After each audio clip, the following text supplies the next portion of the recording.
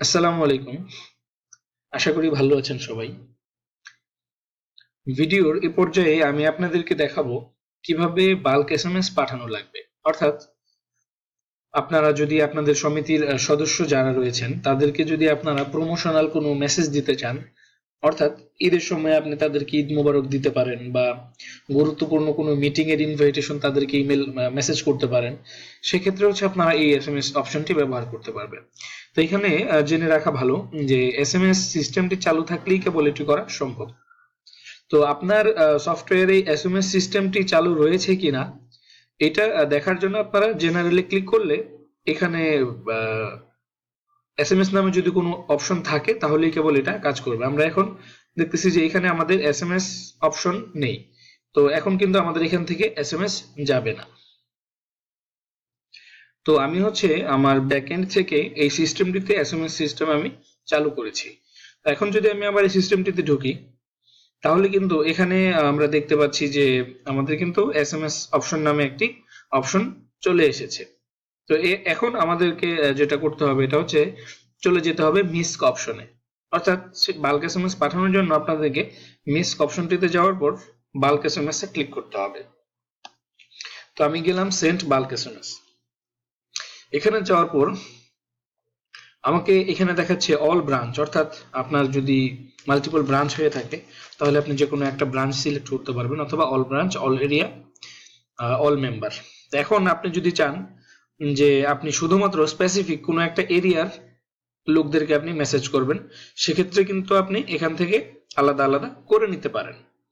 ওকে তো তারপরে যে ব্যাপারটি আসতেছে যে অ্যাক্টিভ অর্থাৎ সক্রিয় সদস্য অথবা নিষ্ক্রিয় সদস্য, তাদেরকে আপনি যদি মেসেজ পাঠাতে চান, অথবা অল মেম্বার অল মেম্বারে দেওয়ার পর আপনি চাইলে এটাকে ডিপিএস যাদের আছে অনলি তাদেরকে মেসেজ দিতে পারবেন। যেমন আমি একটু ট্রাই করি যে মেইন ব্রাঞ্চের অল এরিয়ার সকল সদস্য শুধুমাত্র ডিপিএস হোল্ডার যারা। তো এখানে আমি ক্লিক করার পর আমার এখানে অনলি তিনজনকে ডিপিএস অ্যাকাউন্ট রয়েছে, এই তিনজনের। কিন্তু আমি যদি এখান থেকে লোন হোল্ডার অর্থাৎ যাদের ঋণ রয়েছে, তাদেরকে যদি দিই, তাহলে আমার এখানে আসতেছে পাঁচজন। তো আমি এই পাঁচজনের মধ্য থেকে যদি স্পেসিফিক কাউকে মেসেজ দিতে চাই, সেক্ষেত্রে কিন্তু আমি এটা সিলেক্ট করতে পারব। অথবা আমি যদি সবাইকে দিতে চাই তাহলে আমি এখান থেকে অল ক্লিক করতে পারব। তো আমি ধরে নিচ্ছি, আপনি আপনার সমিতির শত, সকল সদস্যকে মেসেজ পাঠাবেন। তো গো এখানে আমাদের রয়েছে হচ্ছে অনেক সকল সদস্য আমাদের এখানে চলে এসেছে। তো এখন আমি যদি এটাতে যদি একটু ক্লিক করি, তাহলে আমি দেখতেছি যে মেম্বার কাউন্ট চোদ্দ, অর্থাৎ চোদ্দটা, চোদ্দ জনের কাছে মেসেজ যাবে। এখন এখান থেকে আপনি যদি স্পেসিফিক কাউকে যদি বাদ দিতে চান তাকে কিন্তু আপনারা বাদ দিতে পারেন।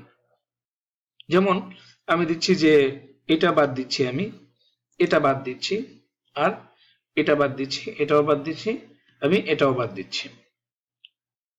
তো আমার কিন্তু এই নাম্বারগুলোতে আমার এখন এসএমএস যাবে। তো এসএমএস ফরম্যাটের জন্য আপনার ডাবল এড দেওয়ার প্রয়োজন নেই, শুধুমাত্র জিরো দিয়ে শুরু করলেই হবে।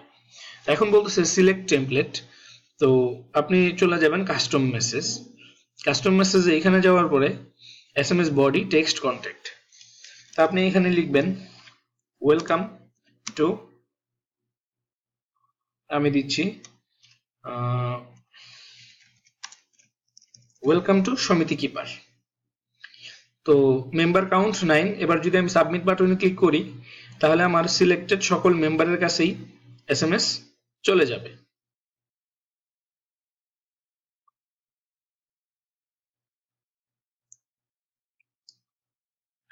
Welcome to Samiti keeper test SMS okay তো আমি এখন সাবমিট বাটনে ক্লিক করছি।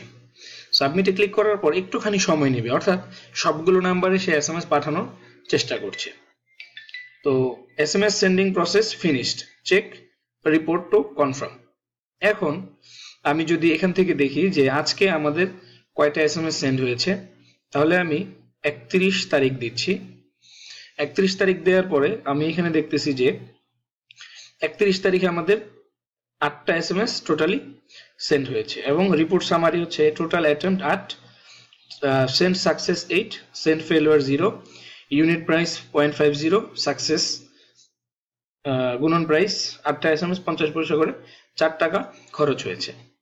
এবং এটা কার কাছে গিয়েছে? তারিখ, সময় মোবাইল নাম্বার ওয়েলকাম টেক্সট দেখেন welcome to Samiti keeper welcome to Samiti keeper from অমুক ফ্রম অমুক status success member Zakaria, Moraj, Miraj, Abdur Rashid, Ibrahim Mia.